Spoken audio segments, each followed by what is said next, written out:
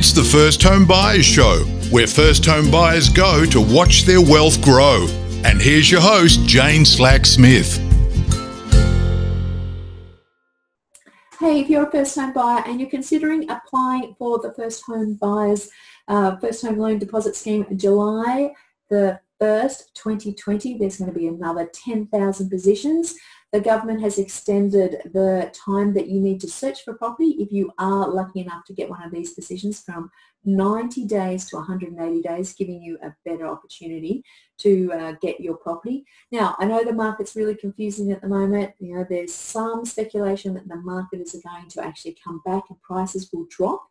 If you're a first-time buyer and you have secure income and your job is safe and it's the right time for you to buy now, then maybe becoming a first-time buyer and making this property the foundation to your future wealth is something that you want to consider right at the moment. Now we're here to help you. The first home loan deposit scheme is starting again. It may not suit you. It does depend on how much you earn and how much the property is that you're going to purchase. Now, it is um, something that we actually have been you know, working on with a lot of our clients over the last six months.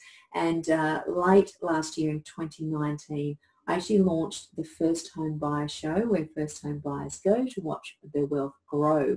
I really encourage you to go and watch that show because, you know, I really have gone through in you know, making a clear framework of what you need to do and when you need to do it. Because I know when you haven't purchased a property before, it can be confusing and daunting and overwhelming. And I've just wanted to simplify this for you. Now, if you'd like our assistance and you would like to speak to a mortgage professional who can assist you and work out you know, what you can afford and how the lenders are going to assess you. And if you do qualify for the first home loan deposit scheme, then please make a time. Just go to investorschoice.com.au forward slash FHB for first home buyer. So we're here to stand by and we are keen to assist. Go and check out the first time Buyer Show. There's a lot of information in there. And if you do book a time with us, I'm going to give you access to my first time Buyers course which normally retails for $495 because we want to give you the most information, resources and support so that you can get into your first home and get on with life. All the best.